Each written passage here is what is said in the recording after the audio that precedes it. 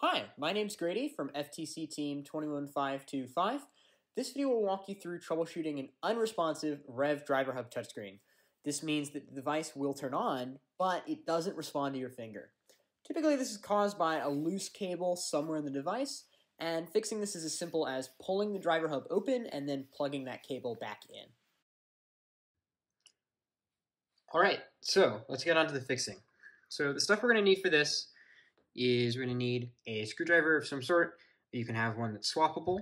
Um, you're going to just need a 00, zero Phillips head.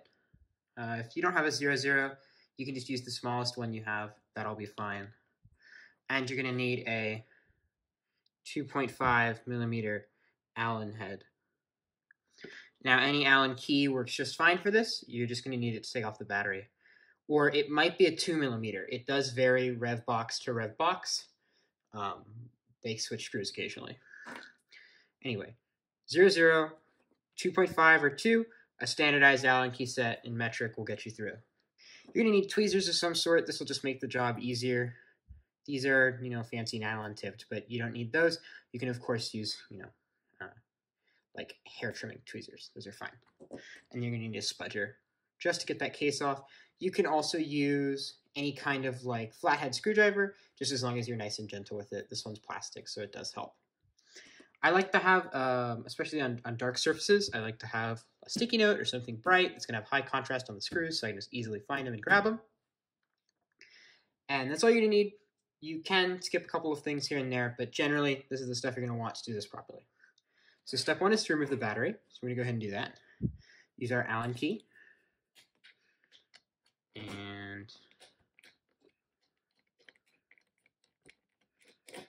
Twist it out. Take our screw, put it aside, make sure we remember where we put it. And I'm just going to use tweezers here just to get in there and pull it up.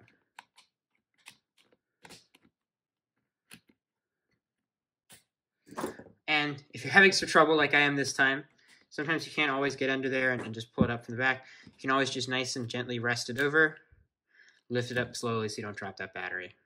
These guys are a little temperamental, so try to be as careful with them as possible. So now that you've pulled off the battery case, you've set the battery and the back panel aside, you can move on to the four Phillips head plastic screws in the four corners. So you can switch your screwdriver bit. We'll take the Phillips head, we'll put it on the first screw, take that one out. Take this one out.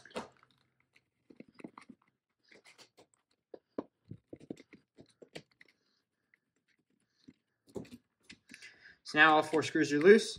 This will can just slide off. If it's not sliding off for you, you can always go ahead and grab your spudger, give the side a little bit of a little bit of convincing. Don't be too harsh on it. Just go back around, make sure all your screws are all the way unscrewed.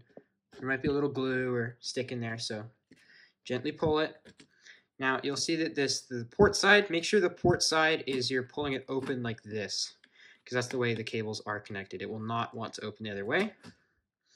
And so you'll notice that this one has this cable loose here. This is the touchscreen cable that, that gets that touch input. And this is just the normal screen cable. And it plugs into here. If it's not loose like this one is, just completely wild, uh, it might just be not set properly in that locking connector. Those guys do tend to come loose when you drop them. Next, we're going to put in the cable. And the cable is really important. It's just the, it might be here, it might be here. You're going to want to pull this connector, if it's not already so, pull it out, just on this little black piece, so that it is out. You'll see that there is a little bit of 3D geometry here. So we have the, the PCB, so the board that the, the uh, circuit is on. Then we have the bottom little recess, this black retaining clip, and then the top. We want the cable to rest on the bottom recess and go into the white bit. So I'm going to grab my cable with my tweezers.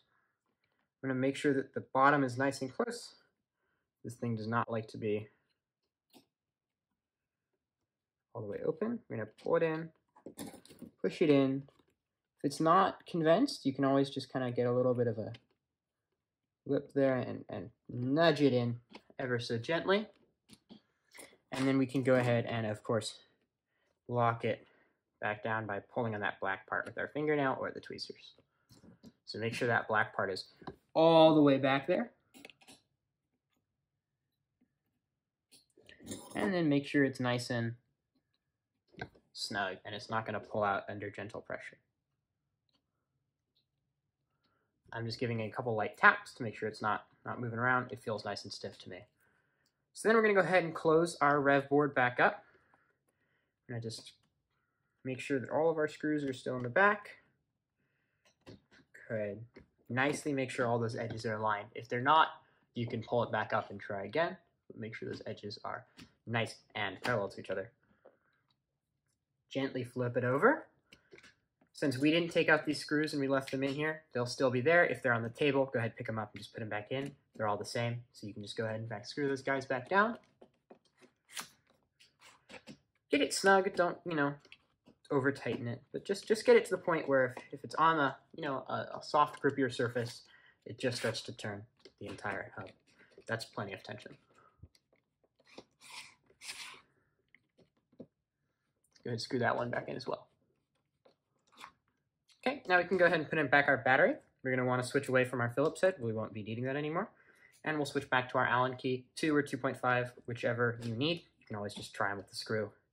We're going to want to take the battery, make sure the contacts, these three gold plates right here, we want to make sure that these are facing away from us so that the text on this panel here is upside down. Point these facing away from us, and then push the battery into those contacts aligned with those four gold pins right there. And we also want to make sure our Rev Robotics logo is up, and we can also see that plus and that minus just to show us the battery polarity. Now we're going to take our black back panel. We're going to see these tabs here. That means that we're going to have to slide it in like this, make sure those tabs get nice and flush, and then just drop it back in. It's like any kid's toy battery. Drop in our screw. Go ahead and snug up our screw. Same procedure as for the others. Don't get it super tight. You can uh, accidentally tear those threads out. That's not a good. All right. So we'll go ahead and flip it over. We're going to go ahead and hit power. We should see a boot up screen. If at this point you don't see a boot up screen, uh, make sure that battery is properly set. Try plugging it in. Make sure that it's properly charged. And um, if you didn't, if you had touchscreen problems before and doing this procedure caused you to lose screen contact at all, you can always go back and make sure that that second connector is the exact same, that it's all the way locked in there. And if uh, that fails, I would recommend that you contact Rev support. But this is relatively easy and quick to fix. So I'm going to go and test the touchscreen by swiping up. And it looks like ours is functional. So that fixes our problem. Um, and that's all you need to do. But of course, if this doesn't work for you, you should always contact Rev support. They will go ahead and help you out. Uh, this is Grady from Team 21525, and I hope you found this useful. And if you have, no need to do anything for us. Just go ahead and have a nice day.